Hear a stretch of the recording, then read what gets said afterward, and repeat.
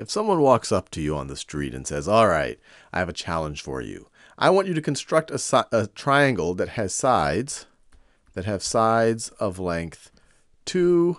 So sides of length, let me write this a little bit neater. Sides of length 2, 2, and 5. Can you do this? Let's try to do it. And we'll start with the longest side, the side of length 5. So the side of length 5, that's that side right over there. And now let's try to draw the sides of length 2. Every side on a triangle obviously connects with every other side, so that's one side of length 2. And then this is another side of length 2. Another side of length 2. And you might say, fine, these aren't touching right now, these two points. In order to make a triangle, we have to touch them. So let me move them closer to each other. But we have to remember, we have to keep these side lengths the same, and we have to keep touching the side of length 5 at its endpoint. So we could try to move them in.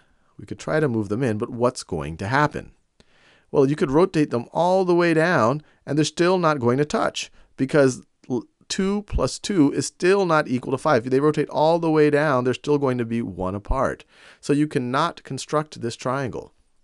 You cannot construct this triangle. And I think you're noticing a property of triangles.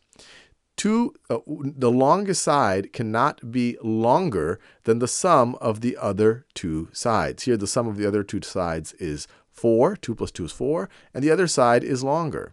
And even if the other side was exactly equal to the sum of the other two sides, you're going to have a degenerate triangle.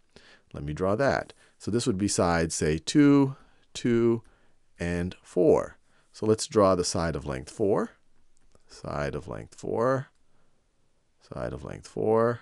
Let me draw it a little bit shorter. So that's your side of length 4.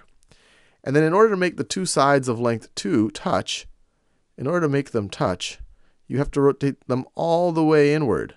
You have to rotate them all the way inward so that both this angle and this angle essentially have to become 0 degrees. And so your resulting triangle, if you rotate this one all the way in and you rotate this one all the way in, the, the points will actually touch, but this triangle will have no area anymore. This will become a degenerate degenerate triangle, and it really looks more like a line segment. So let me write that down. This is a degenerate. In order for you to draw a non-degenerate triangle, the sum of the other two sides have to be longer than the longest side. So for example, you could definitely draw a triangle with sides of length 3, 3, and 5.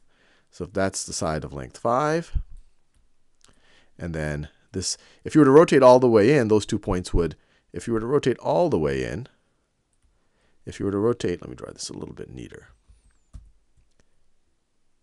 So let's say that's where they connect.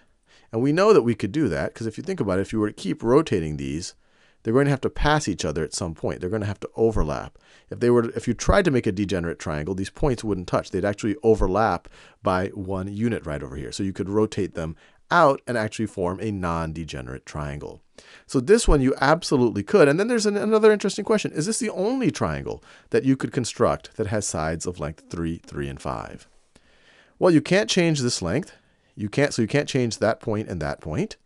And then you can't change these two lengths. So the only place where they will be able to touch each other is going to be right over there. So this right over here is the only triangle that meets those constraints. You could rotate it and whatever else, but if you rotate this, it's still the same triangle.